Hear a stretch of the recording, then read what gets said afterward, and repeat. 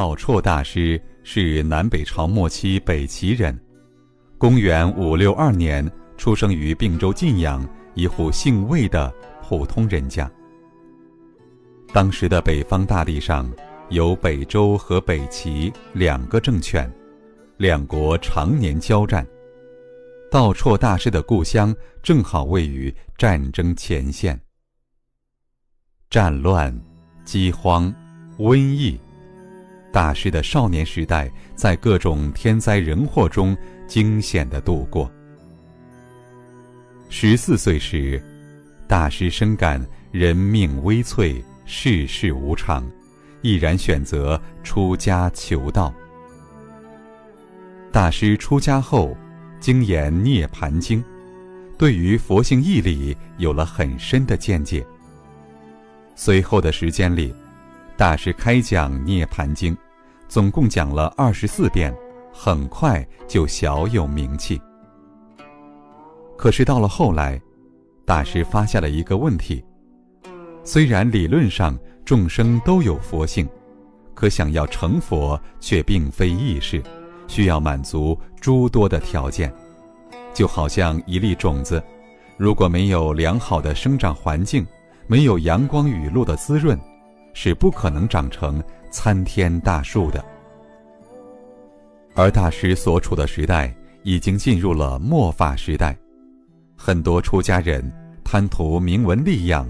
攀附权贵，道风日渐衰退。在这样的氛围里修行，何时才能成佛呢？大师悄然离开了原来的寺院，踏上了寻道之路。当时的河北一带，有一个远居山林的僧团，由慧赞禅师领导，他们保留了很多佛陀时代的优良传统。严持戒律，行头陀法，成为了当时的一股新风。一心求道的道绰大师来到这里，开始了禅法的修行，以期证悟空性。然而，在二十年的精勤禅修后，大师无奈地发现，禅法的精妙高深，绝不是自己这样的末法凡夫能够参悟的。八万四千法门中，有哪一门是凡夫也可以修行成就的呢？带着这样的疑问，四十八岁的大师再次踏上了求道之旅。这一次，大师来到了山西石壁玄中寺，这里是净土宗祖师谭鸾大师晚年住锡的道场。此时。离栾祖往生过去了六十九年。寺内有记录栾祖生平的碑文，大师目睹之后豁然醒悟，百感交集。栾祖所倡导的净土法门，不正是自己苦苦追寻的吗？大师当即在栾祖塔前自视为弟子，从此放下圣道修行，归心净土。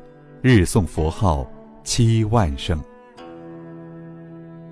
大师继承了栾祖的学说，在玄中寺开讲《观无量寿经》，前后共讲了两百遍，吸引了大量净土行人前来求学。每每讲座散席之时，大众都同念佛号，声震山谷。为了方便大众念佛计数。大师发明了数豆念佛的方法，念一声佛，就在器皿内放入一粒小豆，以此计数。后来，大师又将这一方法改良，发明了我们现在用的念珠。在大师的教化之下，晋阳、太原、汶水三县七岁以上的人都知道念阿弥陀佛。大街小巷随处可闻念佛之声。大师著有《安乐集》两卷，继承栾祖自立和他立的分判，将佛法分判为圣道门和净土门。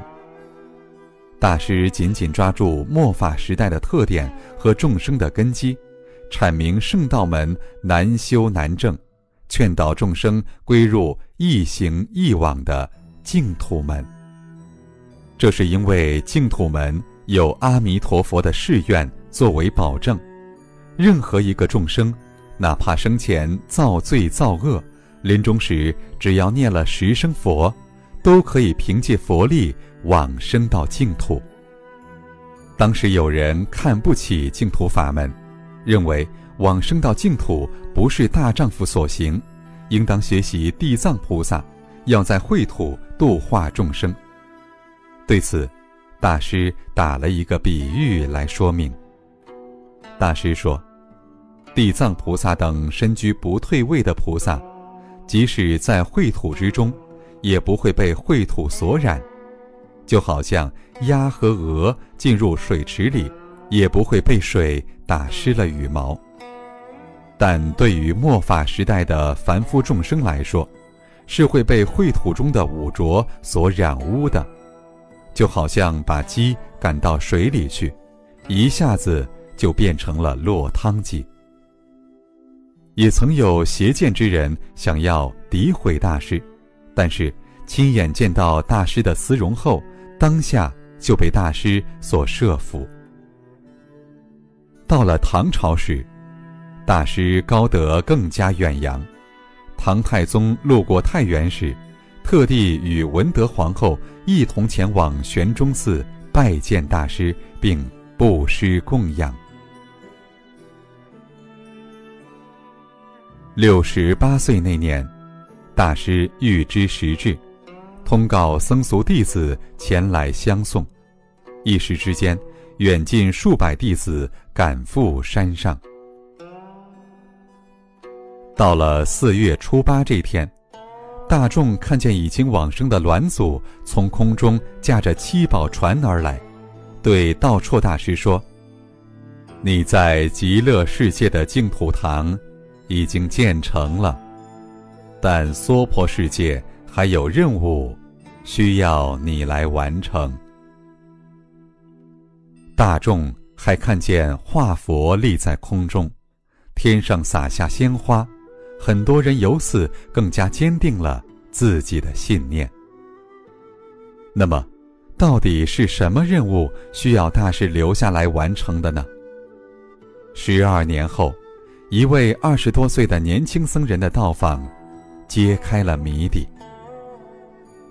这位年轻的僧人，就是日后净土宗的开宗祖师善导大师。他听闻。